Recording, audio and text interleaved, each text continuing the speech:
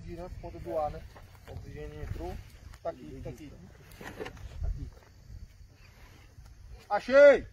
Achei! Bravo! Mão no cara aqui, ó. É, a mão aqui, ó. Carbonizado aqui, ó. Tá vendo aqui a mão, ó? Agora calma aí, ó. Vamos afastar aí. Afastei, pessoal. Se não tiver. Se não tiver. É. Vou fazer as imagens do vídeo, tá? Tô filmando.